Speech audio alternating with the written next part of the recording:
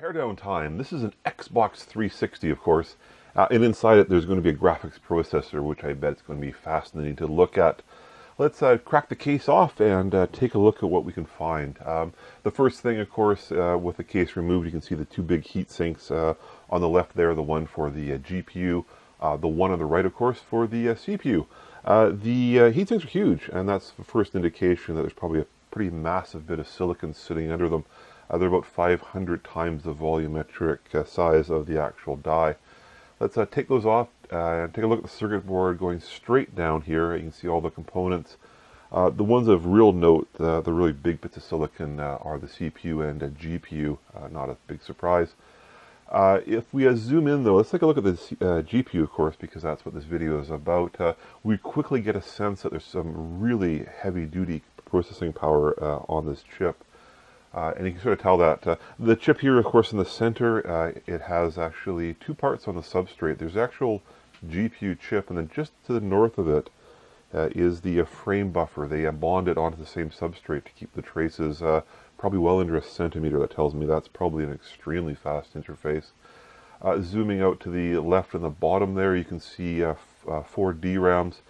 And the trace routing looks very serpentine, and that's because they're trying to do something called length matching. Basically, all the traces have to have uh, the exact same length, uh, probably to within about plus or minus 0.1 millimeters, uh, and that's done to achieve uh, signal integrity and no skewing between them. Another good sign that we're looking at a pretty fast interface.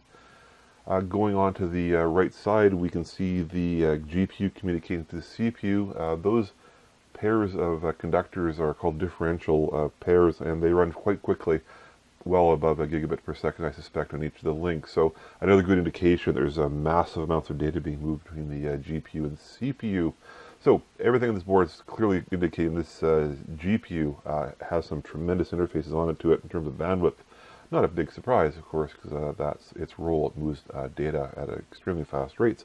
Let's uh, pop the chip off its substrate and take a look at the die. So here we have the two silicon dies. They've been uh, de-encapsulated or removed from that substrate.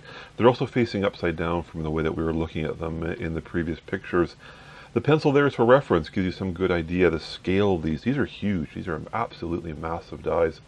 Um, it gives you another good visual indication. You're looking at some tremendous compute power. Let's uh, see. Uh, the left there is the frame buffer. The right, the uh, square chip, of course, is the actual GPU and the heart, really, of the Xbox. So let's uh, take a photograph looking straight down. Now, the colors are pretty muted, and that's because at the very top layer of this chip, uh, they've put a metallization so they can connect solder balls from the silicon chip down to the substrate. And uh, let me just zoom in a little bit. You can sort of see the connection points there. And this, of course, obscures a lot of the real details, and you have to do something called uh, metal strip, or you basically take the top metal off the chip. If you do it, uh, you get an absolutely gorgeous picture. Uh, and here it is. Here is the uh, heart of the Xbox, the 360. We're looking at all the polysilicon.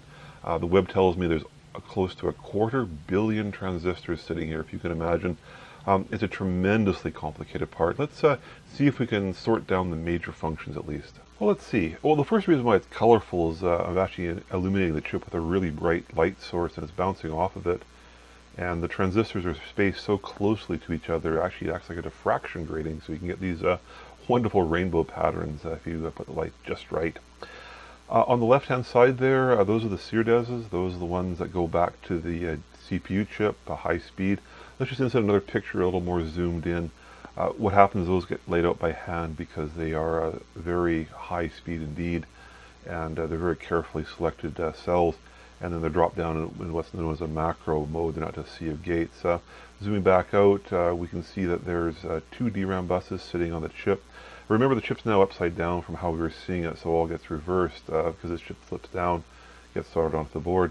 Um, those are the DRAMs that were on the circuit board. they're quote-unquote low speed uh, probably you know, 800 megahertz in this era. Uh, on the top there is the uh, IOs that go to the frame buffer. That was the uh, DRAM that was local to the actual substrate, so a unique bus there. Um, all the bits inside those colorful rectangles, that's uh, memory chips. Uh, the sort of purple hazy area, that's known as the sea of gates. Um, with a quarter billion transistors, there's like hundreds of thousands of transistors in some of those squares, so there is a lot going on in this chip. Okay, I've changed photographs here. This one looks a little uh, plainer, that's because I'm illuminating it uh, basically straight down, trying to actually avoid uh, the uh, diffraction patterns. Uh, it's also a very different photograph in that it's stitched from many smaller photographs. Uh, one real challenge of photographing semiconductors is there's so many transistors. My camera is 18 megapixels, but when you're trying to photograph a quarter billion transistors, it becomes quite tricky. As you zoom in, you of course would lose that resolution. Uh, let's zoom into this photograph. Uh, it's over 300 megabytes in size, and uh, we can quickly see that uh, although there's fairly good detail down to the macro level, uh, it quickly loses resolution. Um, so, real fundamental problem when you try to photograph something so fine. Uh, just scanning over here to some of that gray or purple area, that's a sea of gates basically. We're looking at hundreds of thousands of gates, and you need to get to a couple thousand X before you can actually see these structures. Uh, zooming out a little bit though, we can sort of see that uh, some of the structures of those memories gives us a hint of what we're looking at. The web says that there's a 48 floating point vector units on here uh, for shading. And if you look at this portion of the chip here, you can sort of see a very repeated pattern going on with the memories. So uh, I would suspect that's where the shaders live on this uh, product. Uh, otherwise, I'm going to toss this up on my blog if I can. I don't know if it would allow me uh, such a large file to be uploaded, but uh, if you want to take a look at a Xbox 360, uh, it is a really fascinating bit of silicon. Let's finish this video with a nice flyby of this circuit board. It's actually really quite gorgeous. Um, it has a really nice mixture of really complicated components and some actually quite nice discretes, which gives a nice dramatic view and uh, I think I might be revisiting this Xbox 360 circuit board. There are a lot of neat engineering things going on here.